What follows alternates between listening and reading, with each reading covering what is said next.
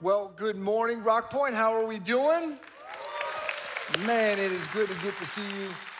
I know what you're thinking. You're like, does Bill even work here anymore? Barely, you know? Now, he'll actually be back from summer vacation next week, and he will be in Galatians chapter 2. Excited to have him back. And um, again, what I'm mostly here to do today, if I have not had a chance to meet you, my name is Daniel. I'm the teaching pastor here at Rock Point, and my primary goal this morning is to correct all the theological errors that were preached in our church for the last two weeks between Caleb and Clayton. So it's going to take a while. I hope you brought a pad of paper and some something to take notes on because they made a lot of mistakes. So I'm just kidding. They did a phenomenal job, didn't they? Come on. I was laughing when uh, Caleb was texting me uh, like Saturday morning. He's like, is it normal to not be able to eat right now? And I'm like, yeah, give it a year or two. That'll go away though, you know? So, hey, I am excited to start a brand new series with us this morning. We are going to be walking through what I believe is one of the most important books for us as Christians to truly understand. Martin Luther, the famous reformer, said that the, the book of Romans teaches us what the gospel message is. And then he said there's one other book in the Bible that teaches us something that's almost just as important in what the gospel message is not, and that is the book of Galatians. Martin Luther famously said that if he could marry the book of Galatians, he would. He called it after his wife's name, saying that he felt betrothed to it, and that the message, the theology, the understanding of who God is that we find inside of the book of Galatians is just so critical for us to see. So, for the next five weeks, we as a church are going to journey through this really important letter called Galatians. So, if you have a Bible, open up to Galatians chapter 1. That's where we will be this morning as we kick off this series. Again, if you have a physical Bible, don't try to be a hero. It's a weird book to find. It's in the middle of the New Testament, it's like a really small one. So, use your table of contents, get the page number, and turn there. As you do that, let me pray for us. Father, God, I ask, Lord, that over these next few moments, we would have a powerful encounter with you. God, we don't come here to just fulfill a religious duty or to uh, get a history lesson from an old book called the Bible, but we come to have the living Word of God speak to our hearts so that we would be encouraged, equipped, challenged to walk out of this room different than we walked in here. God, we give you permission right now to speak. It is in the mighty name of Jesus that everybody said, Amen. I was thinking about it this week. Um, I, I, gave my life to the Lord when I was like 19 years old, and I was raised Catholic. My mom hates when I say, but I wasn't raised in like a Christian household. We occasionally went to Catholic church, and then after my grandfather passed away, we started going more consistently. And I did all of the Catholic stuff. Like I was an altar boy, which that was weird because I was twice as tall as the priest, and I'd have to hold a book for him to read. And I'm like, here you go, buddy. You know, like it's like, mom, I'm not doing this anymore. This is weird. I'm in a robe. Like, yeah, this, this isn't my thing.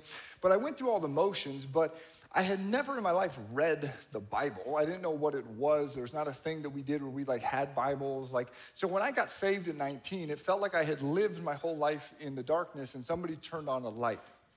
And it became this perpetual search for truth that took me years and years and years, and truthfully, something I still find myself on today. But part of what happened in my faith journey that was so critical for my spiritual development is something that I think all of us need to find at some point. I found a place where I could ask really dumb questions, right? Where I could come in and ask questions where it was okay to not know and it was okay to ask questions that people might laugh at. And I somehow ended up in this Bible study of guides on Monday nights. We'd come together on Monday nights, and there was a group of guys, a lot of them further down the road than me, but in a similar season of life, and we would open up the scriptures together and we would look at what it meant. And I, I truly, literally would show up with a list of questions that I had thought about that week, and they would help me answer them. They'd help me figure out, you know, what this meant. And then that would open up a whole nother realm of questions of things that I'm like, well, what does that mean? And, and figuring out this faith thing and how to read the Bible, man, it's not an easy thing to do, right? Like it's difficult to do, but it's a worthy task. And a lot of us guys in this Bible study, we all served in the high school ministry at our church in San Diego. And what ended up happening is a lot of the young guys that were in this Bible study after or after graduating from the high school ministry, there wasn't like a young adults ministry for them to go to, so they would end up in our Monday night Bible study. And there was this one guy in particular that I was thinking about this week named Raheem. And Raheem was this really awesome kid, moved down to San Diego with his mom, and he was into hip hop and he was getting into the Christian hip hop scene.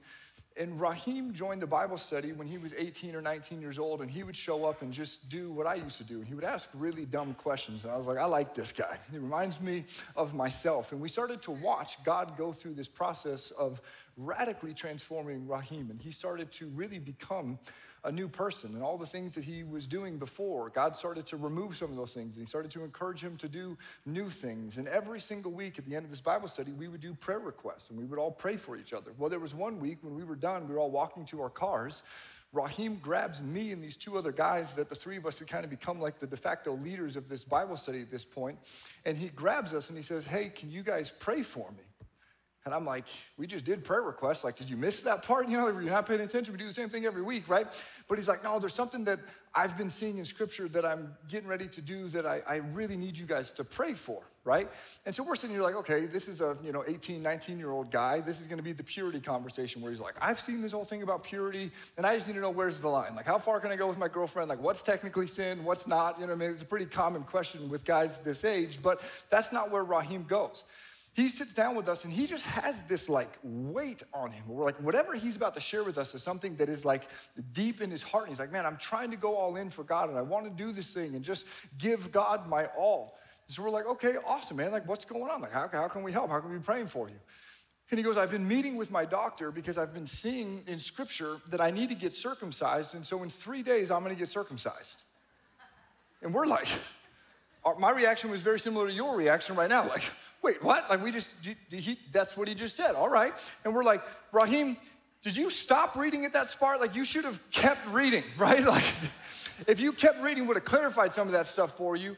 And he was just so confused because, again, in the Old Testament, there was a covenant where God with his people, part of the marking of his people to be set apart, because, again, as God's people, we've always been in this world, but not of this world. And God always wants his people to be set apart. And in the Old Testament, that setting apart was a physical thing, right? It's why the people of God had long beards, they didn't tattoo their bodies, and they went through the tradition of circumcision because physically they were different than the people in this world. But the beautiful part for you and I living in the New Testament post Jesus is that the Bible says that Jesus fulfilled the law. And now what God is after is not circumcision of the flesh, but circumcision of the heart. And so literally in this parking lot with Raheem, we open up after laughing, being like, dude, what, like how, how did you end up here? Like you should have said something earlier, right? But we're glad you said something today. We sat with him and we opened up the book of Galatians and we walked him through Paul's basic argument in the book of Galatia, where he's going to essentially say that either Jesus fulfilled the law and you and I are no longer under the bounds of this law, or he didn't, and the cross was wasted, and you and I still have to try to figure out how to fulfill all these hundreds of commands. Paul's basic argument to the church in Galatia, what we're going to see, is there was these guys that were trying to add to the message of Jesus and Jesus alone. They were trying to add to the gospel message. And Paul's basic argument that we're going to see for the next five weeks is if you try to say that the message of Jesus is Jesus plus anything, you miss everything. The gospel message, friends, is the only good news the world needs. If you're taking notes, the big idea I want to spend the next few moments looking at is this the gospel is the only good news. In the book of Galatians, we're going to see very clearly what is the gospel? Why does it matter? How do we live with it? How do we understand it? How do we allow it to actually impact our life? So, Galatians chapter 1, are we there? We got one person. All right. The rest of you will have to catch up. Galatians chapter 1, here's what it says. This is, the, this is from Paul, an apostle. I was not appointed by any group of people or any human authority, but by Jesus Christ himself and by God the Father who rose Jesus from the dead. You'll notice that this letter, Paul starts off the letter the exact same way that he starts all of his letters to the churches. It's a basic introduction of who he is. Okay, quick history lesson to catch you up to where we are. Paul was not always Paul. Paul used to be a guy named Saul. He was one of the most brilliant Jewish legal minds that we've ever seen. His name was originally Saul. And when Jesus came proclaiming a message that said, you don't have to be a Jew to go to heaven, that the message of God is actually for all people, and that the message is that Jesus paid the price for your sin on the cross, Paul thought that message was antithetical to what the Torah taught. So Saul spent his life persecuting people trying to proclaim that message. He would literally go and kill people that were spreading this message. And one day on one of his journeys to go kill these Christians, Paul or Saul has a powerful encounter with the resurrected Jesus. And the Bible says that he's actually knocked off of his horse and he's made blind. For three days, this guy can't see. And then a Christian comes to Saul, prays for him. And the Bible says that these things like scales fell off of his eyes. And God famously renames him from Saul to Paul.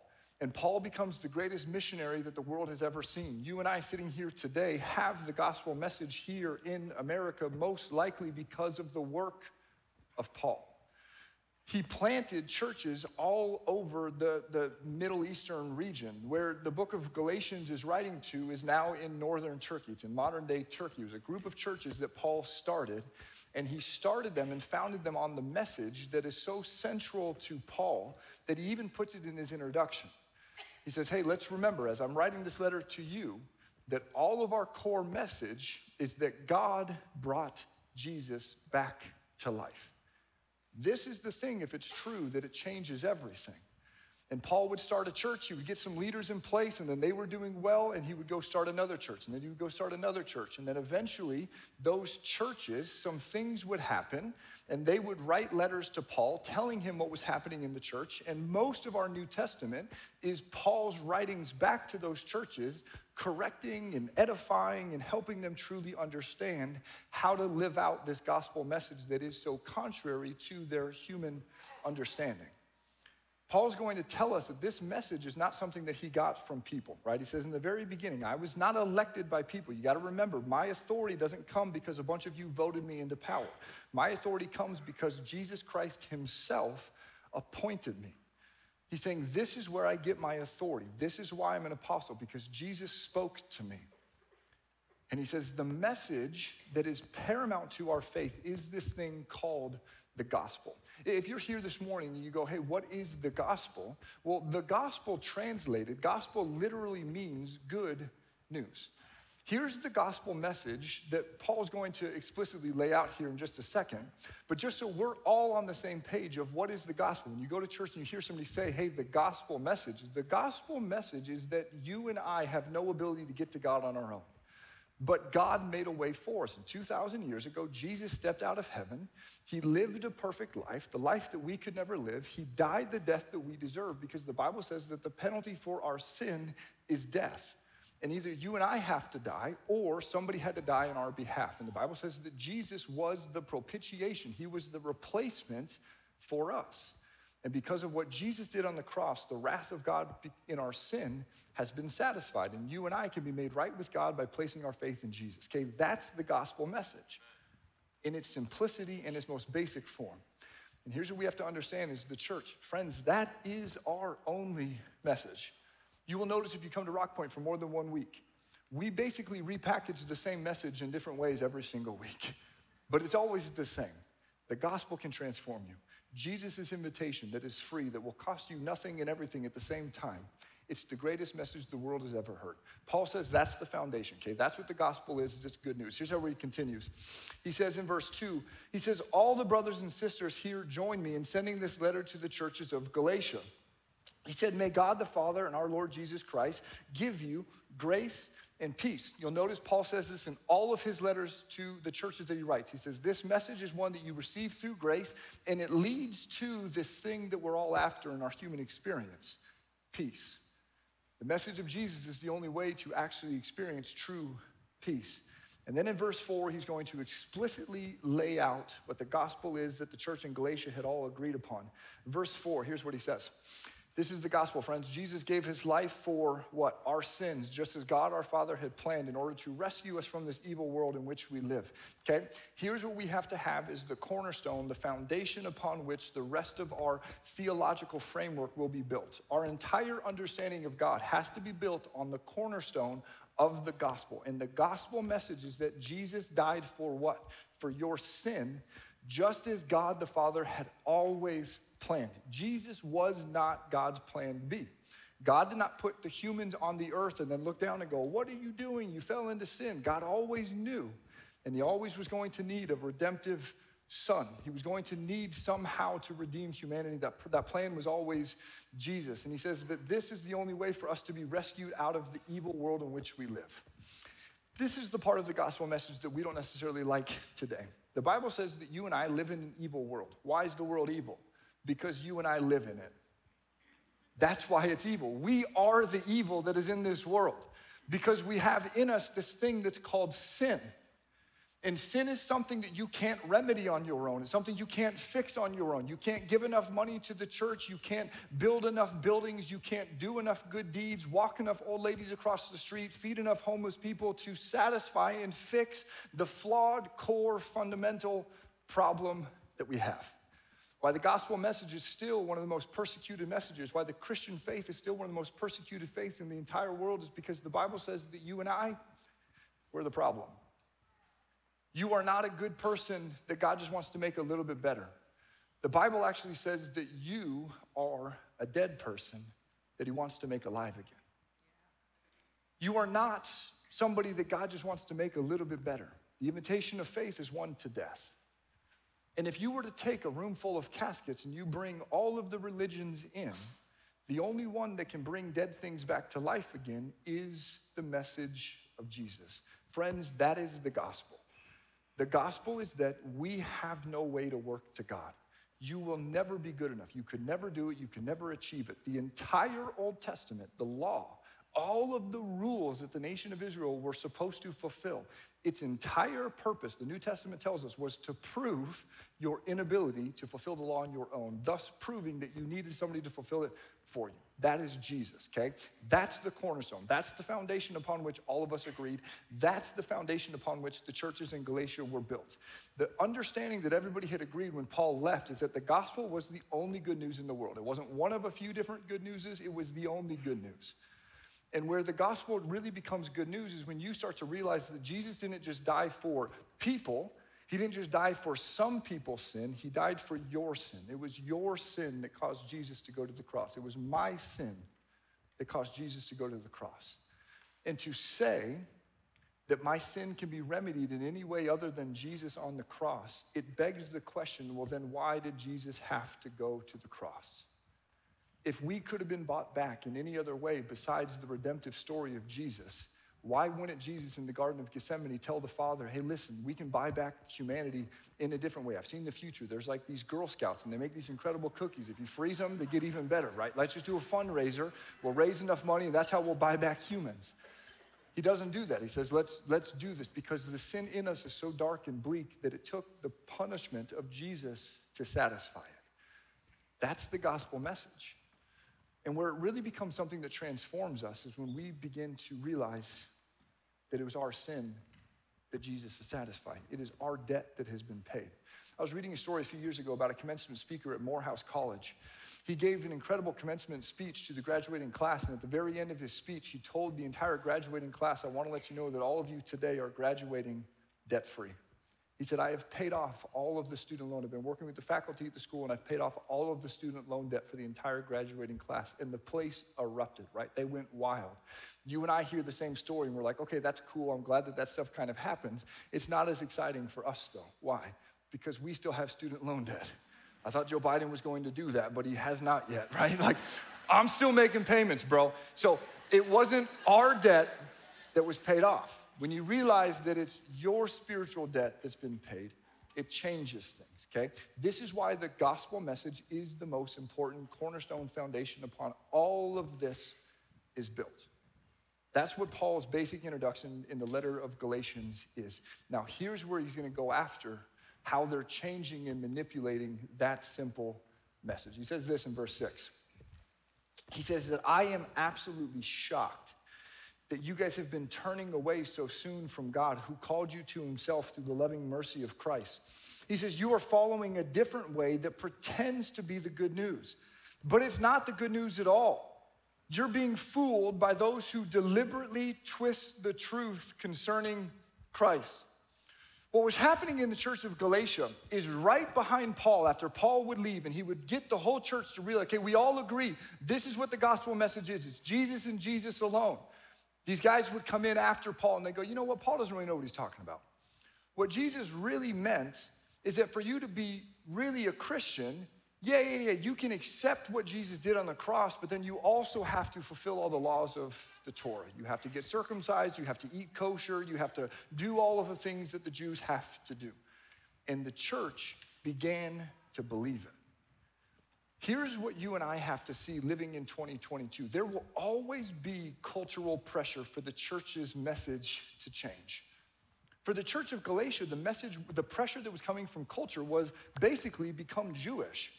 Culture was telling them that you really need to be a Jew in order to be a Christian. I don't necessarily think that's the cultural pressure that we're facing today, right? Like the church would not be growing if our message was like, hey, give your life to Jesus. And then after service, come down to the front, all the men. We have flint knives. You can take those and go into the prayer room. We will have circumcision happening after the service, right? All the guys would be like, I like the Jesus part. The rest of it, I'm not in for, right? Like it's not the same thing, but the cultural pressure is still the same. Here's the thing that we have to see this is the part that makes the gospel message so easy and so difficult at the same time because it's something that you accept, it's something that you believe, it's something that you receive. You can't achieve it, you can't earn it. But our hearts as humans, we, we just so easily fall into rebellion, right? Like sinning is easy for us, it's like a natural disposition of our heart. But then the same heart that so easily settles for rebellion, we do really well and do really good with religion. Just give us the seven things to do. Give us the eight things to become a better version of ourselves, and we'll do those things. And Jesus comes and says, No, no, no, you can't earn it. You have to receive it. I did it all, I paid the price. Your job now is to rest in the finished work of the cross.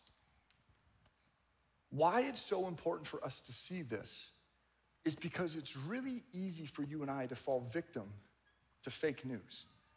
It's really easy for us to fall prey to fake news. If you don't believe me, just look at politics, right? Try to find anything out there that is actually true and trustworthy when it comes to politics. Part of why I've genuinely almost stopped caring completely is because I don't even know where to get actual truth from anymore. Everybody has an agenda. Everybody has a story they're trying to sell us. Everybody has a motive of what they're trying to do. What Paul is saying is that the people running the church, their temptation will unintentionally to do and be the same thing. The church in Galatia, what they were losing by the message of the gospel, the reason that the Bible is still illegal in a lot of countries today is because when people really read it and understand the implications of it, it frees them. And the people that are in positions of power, they lose the power and the control that they have over people. Why? Because you have the ability to truly see the plan of God for your life on your own. You don't need to come up to a place like this and for me to tell you what God's plan for your life is. And what Paul is saying is that we have a responsibility as the church. You have a responsibility as the people of God to know and understand what you believe. And the New Testament says you should be able to give an account for the hope that you have. You and I, when it comes to understanding spiritual truth, we don't have to wonder what is the singular source of truth? Where do we go to get our information? Because all of us, we've been given one source of truth. Friends, the reason that understanding what these scriptures teach and say is not because it's how we become a better version of ourselves, but it's how we protect the greatest message the world has ever heard, understanding that the world and culture is always going to pressure us to change the content of the message of the gospel. But we have a responsibility to know this thing, to understand this thing, and defend it. But the problem is, is we are living in a time where information and access to the Bible is at an all-time high. But at the exact same time that information and access is at an all-time high, our willingness to engage with it and believe it is at an all time low. I was doing some research for this message, and they did a survey, Gallup did a survey of Americans in March of 2022. And they asked Americans, how many of you believe that the Bible is the actual literal word of God? You know how many people actually said as Americans that they believe this is the word of God? 20% of US adults believe that the Bible is the literal word of God. They go, Oh, you mean those stories about like the guy that lives in the belly of the whale and like the book that was written after the game of telephone where like one guy told one person a story and then that person told another person a story and then it got like 50 people down and the story completely changed and it was all made up. You mean the, the stories that are mostly allegorical and metaphorical and there's no way that those are real? We finally as a country are getting to a place where we're being honest right? Because I always love the studies when they ask Americans how many of you are Christians and 85% raise their hand and say yes. I'm like, there's no way. On the freeway, I'm not interacting with those 85% of people, right? Like, no way you fools are Christian. But for one in five Americans to say that they believe that the Bible is the literal word of God, it begins to help us understand why culture is moving in the direction that it is.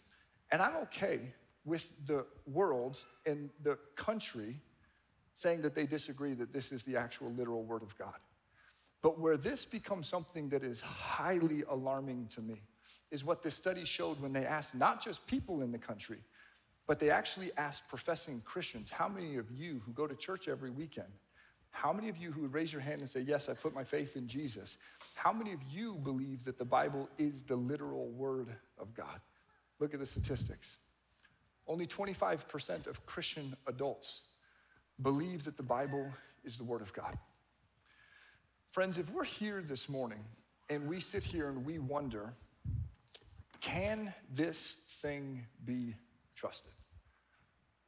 I'm telling you right now, that is where you stop in your faith journey. You do not proceed to step two until you answer step one. Because if this book is not to be trusted, then a lot of the things that we say and believe can be completely eroded. Because if you believe that this book was just written based on a bunch of people who played a game of telephone and this thing can't be trusted, then you are making some of the most foolish arguments that have already been made and disproven. The book that we're reading right now, the letter to the church in Galatia, you know, no, not a single historian in the world disagrees that it was penned by the person of Paul, that Paul actually physically wrote this letter. And we have multiple manuscripts that verify this and validate it. So what we're reading is a firsthand account. And we also have to remember, as people who sometimes, again, we go, I don't know, man, there are, like the story of Jonah, right? Living in the belly of a whale. Like, that is a crazy story. But let me submit to you this morning something crazier, okay? Here's the reason that I believe the story of Jonah is true, even though it doesn't really make sense to me completely logically. The foundation of my faith, the foundation of my Christian experience, is that I believe 2,000 years ago, a person named Jesus, he walked on this earth. He was born to two physical parents, and at 33 years old, he was crucified. And multiple people, historians agree, this person lived and he died. Now, what is debated is what happened to him after he died. But I believe through a series of evidence and through the Holy Spirit's revelation that I believe that Jesus came back to life, that he's not dead, even though he was in a tomb for three days. And today, right now, after showing himself to thousands of people in the physical form, today, right now, he's alive and he's seated at the right hand of the Father and he's actively speaking speaking to you and I. Okay? That's the cornerstone of the faith that we claim. And Jesus said that Jonah was true. He talked about it. And so if we have a faith that believes a dead guy can come back to life, then it's like, well, if the Bible says that a dude can live in the belly of a whale, I'll rock with that because the cornerstone of this whole thing is that a dead guy came back to life. If you want to sit here if you want to walk in the doors of church and say, I think Jesus was a complete nutcase, he was a lunatic, the guy was mad, I can hear that argument.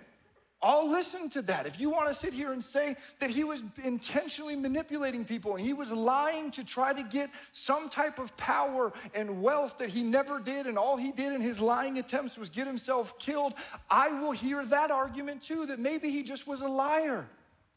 But what you and I do not get to do is to say, I believe that he is who he is, but I just don't believe the words of God.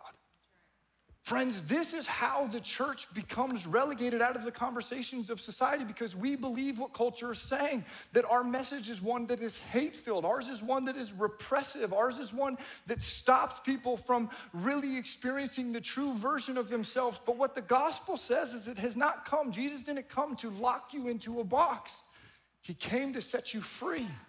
He came to give you a life beyond your wildest dreams. That's the gospel message, but culture will try to get you to change it.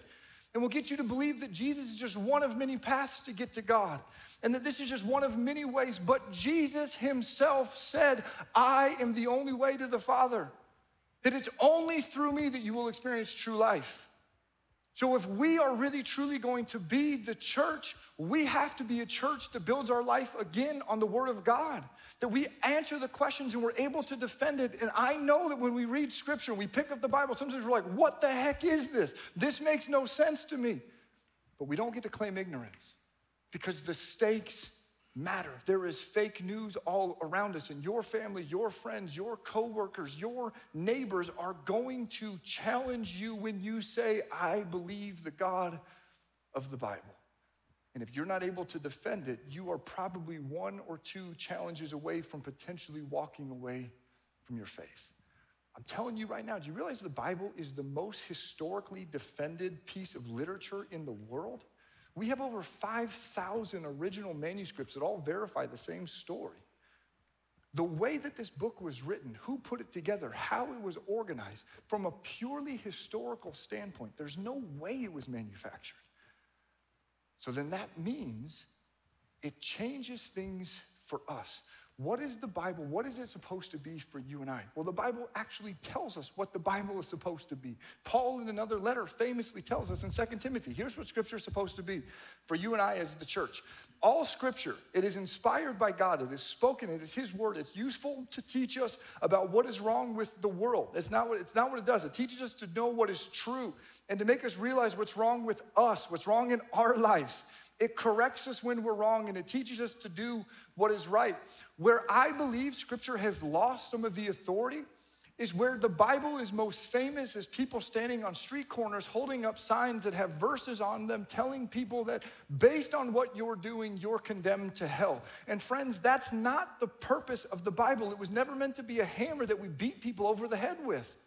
Scripture is supposed to be something that you and I, as believers, we read and we allow it to be a mirror upon which we look and we go, God, what are the things in my life that I've settled for? What are the sins in my life that I've justified that you know I need to wage war with? How do I become more and more made into the image of God? That's what the gospel is. That's what the Bible is for. But we've allowed people to take it and to whore it out to tell a culture, you're a bad person. Friends, we're all bad people. But the beauty of the gospel is it doesn't matter what you did last night. It doesn't matter what your natural sexual orientation is. It doesn't matter what family you grew up in or what socioeconomic class you come from or how you vote or what you did last weekend. God doesn't care. What He cares about is the condition of your heart and your soul. And you better believe that after you give your life to Him, He's going to radically transform you. And it's the greatest process you will ever go through.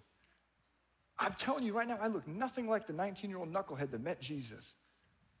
And that is the beauty of the gospel. But we have to remember our message is to create the encounter between a broken world and the God that loves them, not to fix all their behavior. When we say it's Jesus plus anything, we lose the power of everything. Here's what Paul says where he really, what the theme of the book of Galatians is, Paul's going to sum up in these next two verses. He says, Here's what is going to come to anybody who tries to change this message.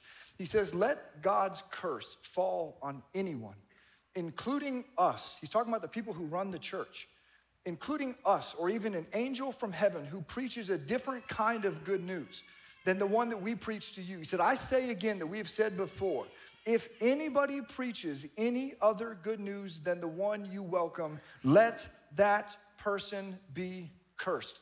Paul's message, the basic theme of the book of Galatians, is that the gospel message does not change.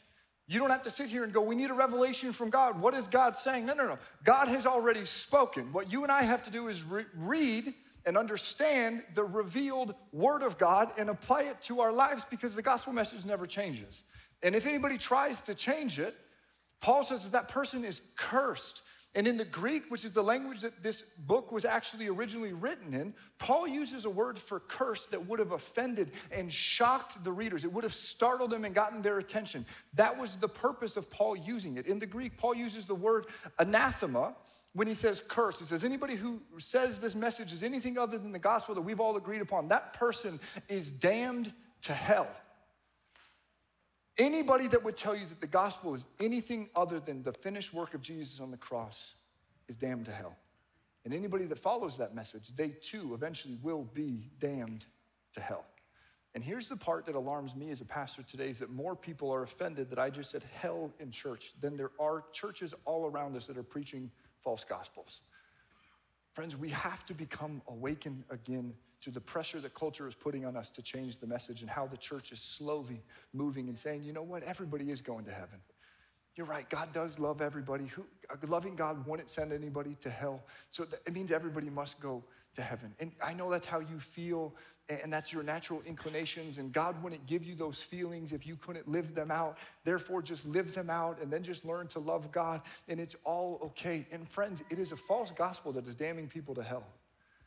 And we, as the people of God, need to begin to take hold the mantle of what we've been given to be the stewards of the gospel message for this generation. Because if not, our culture, our friends, our community, our kids are going to potentially be damned to hell. And I think it's really interesting in this when Paul is talking, especially for us in our cultural language. Paul says if anybody comes and twists this gospel message and says it is anything other than what we've all agreed upon, he says if a human or even an angel comes out of heaven and proclaims a gospel different than this one, that angel would be damned to hell. The weird part for me moving from San Diego to Gilbert is all my neighbors went from a bunch of knuckleheads to a bunch of Mormons, right? Like, we just, there's Mormons all around us. And I had to begin to understand as I engaged with my Mormon friends really what they believe. And now let's just assume for a second that Joseph Smith really was, was visited by an angel, and an angel really actually did give him a revelation. The moment that that revelation changed the fundamental message of the gospel, the Bible says that that's a message and that's an angel that should have been damned to hell. You and I have to understand that one of the most dangerous false gospels in our community is one that feels and sounds and appears to be kind of the same as ours. They use a lot of the same language. They say that they're the church of Jesus Christ. They use the same words, but the problem is, is they read an entirely different book that preaches a different gospel. It says that Jesus wasn't creator. It says that Jesus was created, that God made him. He's actually the brother of Satan. And that the way that you get to heaven as a Mormon is you have to do everything you can on your own. You have to be a Mormon in good standing. You have to tithe. You have to serve. You have to give. You know what's crazy? The Mormon church doesn't employ a single person, they're all volunteers because they have to. It's part of how they prove to God their worthiness. And what the Mormon church will tell you, what their Bible teaches, the Book of Mormon says, is that grace covers the 10% that you're not able to do on your own. That you can, through discipline and hard work, you can do about 90% of the work to get back to God. And what grace will do is it'll cover that last 10%. And what Paul says is that message, it's damned to hell. That is a gospel and a Jesus, the friends, that cannot save you. Here's the hardest part for me is I live life with my Mormon neighbors and my daughter's friends who are Mormon. I love them to death, truly. They're better people than most of us in this room. They're better citizens and better neighbors than most of you. When COVID hit, you know who had all the toilet paper? My Mormon neighbors. They're like, man, we got stockpiles. I'm like, my man, let's go, right? Like, it was awesome. But here's the truth I'll sit with them, have dinner with them, walk out of their house after looking at the pictures of Brigham Young and Joseph Smith on the wall. And I'll walk out and I'll look at my wife and I go, Isn't it crazy that that whole time we're talking about dinner, they think that if I die tomorrow, I'm going to hell? Because again, their foundation is that any other religion besides the Mormon church is an abomination. And I believe if they die tomorrow, they're going to hell because they're being sold a different gospel. But we just are like, hey, we passed the peanut butter? Like, let's just keep the surface level, right? why, why do I say any of this? How does this practically impact us? I, I'm not saying that you and I should go and be the ones to witness to all of our Mormon neighbors. That could be part of it, but there's some serious indoctrination that the Holy Spirit has to be involved in to help Mormon people get out of that. But what you and I have to be, we have to be really aware of is that if this is what's in our schools, if these are the friends our kids are interacting with, we better be sure that we're teaching them what the true gospel is. And that they're not walking out of our house wondering what is the source of truth. Friends, we have to be the people who take this thing and we take the word of God and we say, This thing matters, and upon it I will build my life. And I know it's difficult and I know it's hard, but I'm gonna figure it out because it's the only singular source of truth. Here's how Paul concludes this section of scripture in verse 10. This is where this message gets a little bit throat punchy for us, so just fair warning. Paul says in verse 10, he says, Obviously, I'm not trying to win the approval of people, but of God. He said, If pleasing people were my goal, I would not be Christ's servant. The, the basic argument that Paul will make for the rest of chapter one, that I don't have time to go over completely, Paul's saying is that the message of the gospel will never change, but it better change you. The gospel message better transform you. He says, if you think I'm doing this and saying these things because this is popular and this is the way to get a big following and have people like me, he's like, that's the craziest idea I've ever heard. He said, but at some point, I had to stop living for the approval of people and I had to start living for an audience of one and understanding that it's only the approval of God that I'm actually after. Just for a moment, if you're a skeptic, I would submit before you what would take a man of prominence, a man that had standing in his community. You realize Saul was wealthy. He preached at the biggest universities. He had a following of people. He was a Roman citizen. He had clout. He had power. He had influence. He had wealth. He came from a wealthy family. And in one moment with Jesus, in an encounter with Jesus, over the course of the rest of his life, he will lose his life, he will lose his status, he will lose all of his money, he will be stoned almost to death by the same colleagues that sang his praises just months before. And eventually, Paul will be crucified, will actually be beheaded by the Roman government that he once was a citizen of. What would cause Paul to lose all of that stuff? He understood that this gospel message is real. And if it's real, and Jesus didn't just die for somebody, but he died for you, he died for me, this changes everything. Friends, if I sat here this morning and said, man, the craziest thing happened on my way to church, I was walking out of my house and a bus came out of nowhere and it just ran me over. It was wild. You guys would be like, what? Like, what are you talking about? There's no way you got hit by a bus, right? Why? Because I'm not flat, right? There's no evidence that I was hit by a bus. Yet, so many of us, we walk into church and we raise our hands and we tell our families, man, I've, I've been hit by the bus that is the Son of God. I've had this powerful encounter with Jesus, but the truth is, is when we look at our lives, nothing has actually changed. And if we're honest, we're living for the approval of people. And I'm telling you what the world needs right now is for the church to be what the church was always supposed to be to be the group of people that goes, We have one message, and it's the greatest message the world has ever heard. But it's not just something that we can say, it's something that we have to live. We have to allow it to transform us first. We have to start living for not the approval of people, but for the approval of God and God alone. Friends, this is how we change the world. It's not through voting, it's not through politics, it's by beginning to really believe this gospel enough to live it out. My hope, my prayer is that we, as the people of Rockpoint, would begin to really allow God to grab hold of our heart, that we would truly understand the implications of the gospel message, and that we would be the people who believe it enough that are willing to actually live it out because this is the world's only shot. This is the only good news, friends. It's all we have. So here's what I want to do as I wrap this whole thing up. I have a couple challenges for us. For the next five weeks, we're going to walk through, again, the book that Martin Luther said if he could marry, he would marry it. It was that important to his understanding of the Reformation. We're going to spend the next five weeks looking at it. My challenge to all of you in this room is would you spend the next five weeks reading it as we go through it? We're going to go chapter by chapter, but we won't go verse by verse. So there's some verses we won't cover. My ask is that you would read it in your own time. You would sit and allow God to speak. You would go to YouTube, go to the Bible Project, and read and watch the videos about the book of Galatians and study and allow God to speak to you during this series. And then I'm going to go one step further and I'm going to ask you to actually commit what I believe is one of the most important verses for us to truly understand and live out. We'll see it next week in Galatians chapter 2. In Galatians 2, Paul sums up what is our human experience on this side of heaven when we truly understand the gospel message. Galatians 2:20. This is my ask for us to commit this verse to memory over the next 5 weeks. Paul says, "Friends, this is our faith summed up right here. We have been crucified with Christ. It is no longer us, it's no longer I who live, but it's Christ who lives in me.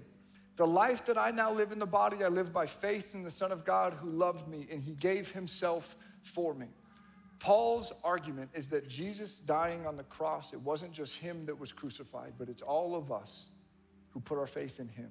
Our human experience on this side of heaven will be our flesh, our fleshly, worldly, earthly desires being crucified with Jesus, being made into the image of God.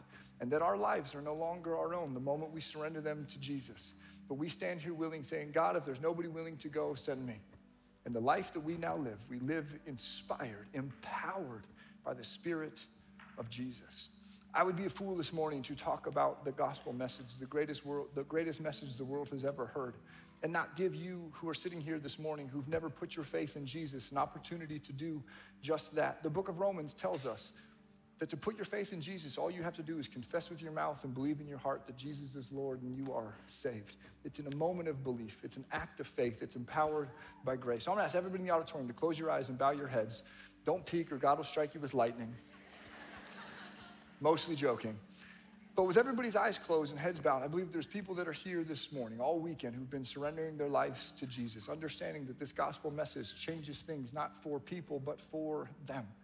And if you're here this morning, you go, I want to accept the free gift that is the invitation of faith. The Bible again tells you all you have to do is believe.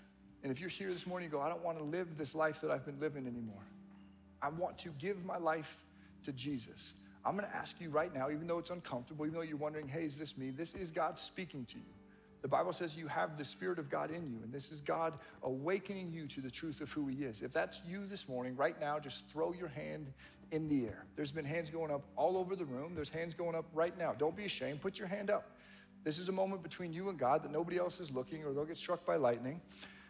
Throw your hands up. Do not be ashamed. There are hands going up all over this auditorium. If that is you, put your hand down right now and pray this prayer right now in the quietness of your heart. Make it your own words. It's not about the words, but it's the posture of your heart. Say, Jesus, I believe that you are who you say that you are. I believe that you are the Son of God, that you stepped out of heaven, you lived the perfect life, you died the death that I deserve. And that God, all my attempts to be a good person have fallen short. I believe that you were the penalty for my sin. I ask right now for you to come into my heart and set me free.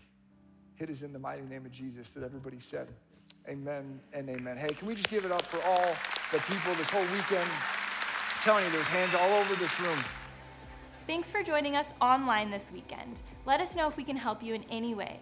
Make sure to follow us on social media and connect with us on rockpoint.io for prayer and everything happening here at Rockpoint.